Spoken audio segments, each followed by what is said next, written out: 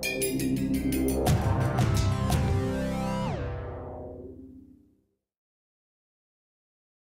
morning, everyone.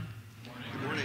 I'm particularly grateful to all of you that you walked away from all those treats and donuts and all that stuff down the hall to come back here uh, to hear me. So uh, thank you for doing that, and, and thank you so much for for all the good work that you do. Uh, I haven't met all of you, but I've met a lot of you uh, uh, over the years, and, and more recently, because I have been focusing a lot on agriculture recently. And, uh, and I'm so impressed with uh, your vision for what we can do uh, to clean up our nation's waters through using things like cover crops and focus on soil health and practices that really work uh, for agriculture and really work for the environment. And, and that's why I'm here. I'm very excited about the possibilities that we have. Uh, frankly, I'm looking for something that's transformational. Uh, and, uh, and I think that we may have it here. And so um, I'm really delighted to be here. I want to I want to thank the sponsors of the conference. I want to thank USDA and the SARE program, and I want to thank uh, uh, the Howard Buffett Foundation. This is wonderful to bring all these people together. And, uh, and I really like the fact that there are people across the country, not just here in Omaha, that are also meeting today to talk about these issues and what are the barriers, what are the opportunities, and how can we really do something together to make a big difference. And so, uh, so I'm, I'm just uh, pleased to be here with you today. So I have a couple colleagues here Katie is right here. Katie Flahive, stand up, Katie. And Erica Larson is right next to her. Those are my two colleagues from, uh, from EPA uh, headquarters in Washington, where I work. Uh, and they are both uh, experts in agriculture and water issues in a way that I would say I'm not, but I'm, I'm here to learn. Uh, so please talk with them or with me uh, uh, about how we can work better together. So, um, so let me just start with um, what uh, my boss, the administrator, Gina McCarthy, had to say. She, this was from the Iowa State Fair last, uh, last summer, and I was there with her. Um, and uh, the, the photo is there uh, with Bill Couser from the Cattlemen, for those of you who know, who know Bill. Uh, and this is what she had to say EPA's mission to protect public health and the environment depends in part on our relationships and partnerships with farmers and ranchers. We share a concern about the quality of air, water, and land that nourish the food, fiber, and fuel they grow and that support their livelihoods. Uh, she has indicated very clearly that she wants a strong partnership with agriculture, that she wants uh, the agency to be figuring out how to work better uh, to achieve our common objectives. That, so that's the, that's the commitment from the top and from the administrator. Uh, and that, again, is part of why I'm here today. So, so what's going to be successful? What's going to be successful is a partnership that is built on common interests and common objectives and that works for everybody in it. It's true of a marriage, it's true of every other partnership you have in life. So, what we're looking for at EPA, what I'm looking for in particular, are uh, the, the practices, the treatments, the systematic approach that's going to work for farmers across the country and achieve their goals in terms of uh, staying on the land, which is really important from a water quality standpoint, uh, achieving their economic goals, and achieving the water quality goals that we want and desire as a nation. So that's the partnership I'm looking for. That's the path to success if you look at that picture, you'll notice they're pretty far out there. Uh, they haven't quite made it over there to the success block on the right. One of my favorite quotes is from Will Rogers, who said, Go out on a limb, that's where the fruit is. Uh, right? You remember that? None of us are old enough to really remember Will Rogers, I think, but, uh, but, uh, but, uh, but I, I mean, he was a man with a lot of wisdom, Will Rogers, and and and you know that's where we got to be out there on the limb because that's where the fruit is. But uh, but we need to support each other as we're moving out there, and that's what the folks in the in the picture are doing. So so one of the reasons, as I told you, that I'm so interested in being here, and that is that's because the nutrient pollution problem in this country is bad, and in a lot of places it's getting worse, not better. So, uh, so we really need a breakthrough. We need to find some new strategies. The old strategies of addressing nutrient pollution, and we did address a lot of it as a nation. Uh, uh, the construction grants program under the Clean Water Act that built the sewage treatment plants across the United States did a, a huge amount for reducing nutrient pollution. Um, uh, but uh, we can't succeed just by addressing sewage treatment plants. Uh, we have to address agriculture. We have to address urban runoff in order to succeed.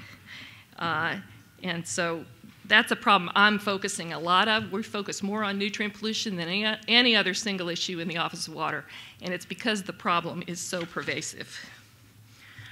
So here's a few statistics about it, uh, about how big the problem is. And uh, um, uh, 99,000 river miles threatened or uh, impaired, more than 3 million lake acres. 78% of assessed coastal waters show uh, signs of eutrophication. Uh, and drinking water violations have doubled uh, in the past decade. And for the first time that I'm aware of ever, there was a drinking water treatment plant last summer that had to close because of the microcystin from toxic algal blooms that remained in the water after treatment. That happened in Ohio last summer. And so we're starting to see these impacts, not just the, the uh, algal blooms, the green mats, uh, that have affected recreation and swimming and so forth over the years, but now drinking water as well. Uh, and of course, um, well water, particularly in agricultural areas, uh, is often affected. This is a very serious problem. And so we need to think big about solutions for that problem. I'm not going to talk with you about the benefits of cover crops because you guys are the experts. I'm actually here to learn from you about the benefits of cover crops. But, but, uh, but I did uh, uh, do a, a, little reading about it and have learned a little bit about it in various places. And one of the things that I think about it, in addition to the one about it um, having those economic benefits that I think can make it a real uh, driver, is that it, I think it will help for the future. It'll help for the droughts that I'm afraid are in our future uh, more often, uh, the kinds of circumstances that we're facing in so many parts of the country now. And so uh, I think it's an adaptive approach uh, as well as one that works for us today.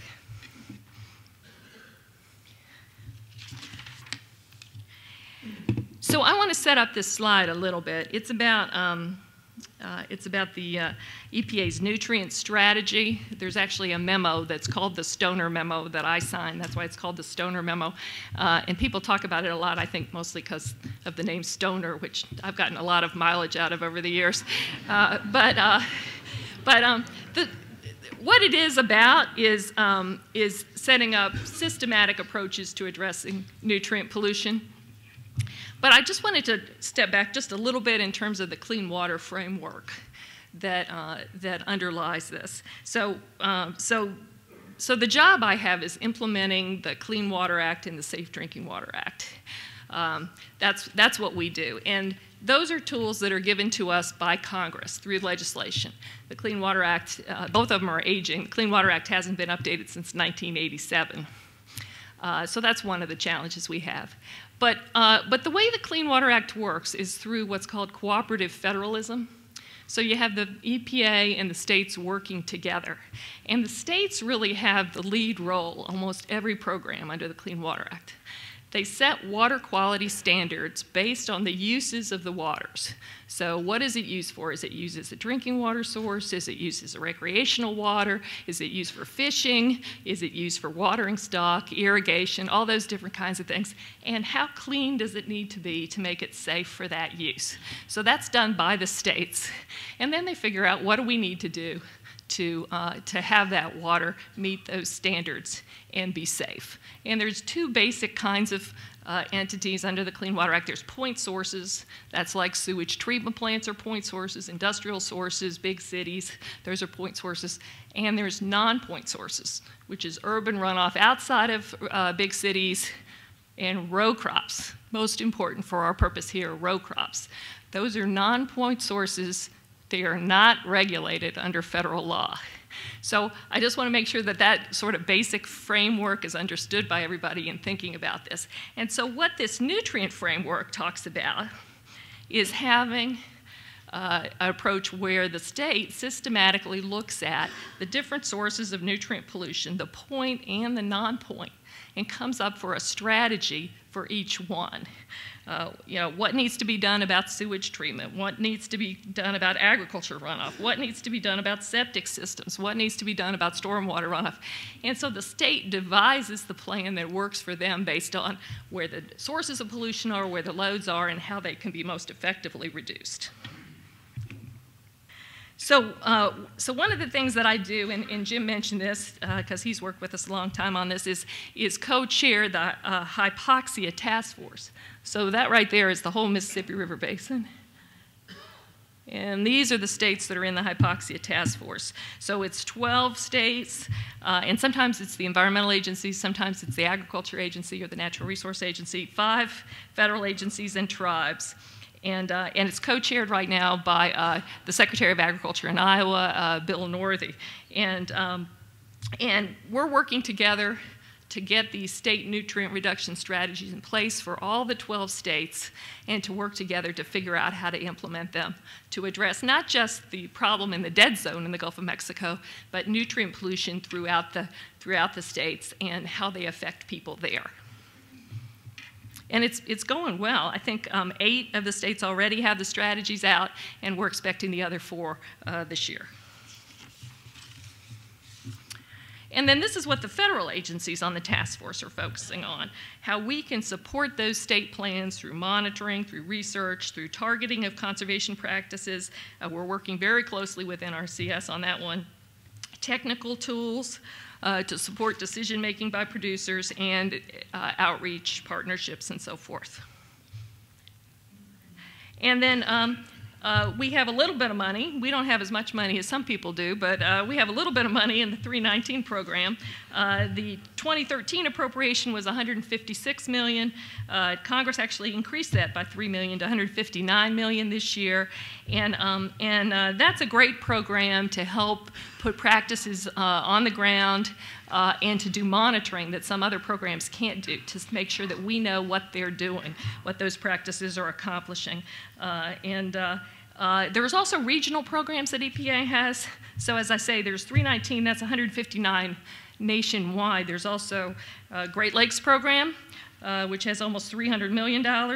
Uh, the Chesapeake Bay program, the Puget Sound program, the Long Island Sound program. If you're in the watershed of an estuary, there's the National Estuary program. So there's lots of different ways to potentially get some funding through EPA. Again, we're not the big funder out there, but there may be money available. So uh, please talk with us if you want to know uh, more about that. And so um, one of the things we put on our website is the 319 success stories we have. And um, the hallmark of the success stories is that you had a water that was polluted, and then people came together and took action, voluntary action under the 319 program, and uh, the water was taken off the list as polluted and uh, is now usable. And that's uh, what this story is right here uh, on the uh, Alabama's Flint River. Um, and uh, it included winter cover crops and conservation tillage on 2,000 acres. the problem was dissolved oxygen, and uh, now it's off the impaired list. So those are the kinds of success stories that we're very interested in, getting the word out about how people can use that program. Usually it's matched up with other funds uh, to get this good work done. So just in, in conclusion, you know, what we're interested in here is how we can be part of the solution, how we can work with people like you on growing co cover crops, because uh, I think we all know it's not going to work. It's not going to make that kind of change that we're looking for unless it's really done on a widespread basis. I'm very excited about having so many people working together, so many partners uh, to grow this, uh, figure out how it can work uh, for all of us together to achieve our common goals. Um, and so, um, uh, you know, that's why I'm here. I'm really happy to be here with all of you experts. And uh, here's how you can find us online. Uh, our Twitter account, uh, Facebook account, uh, uh, my email, stoner.nancy at epa.gov. let me know if there's anything that I can do to help you with the good work that you're doing. Thank you.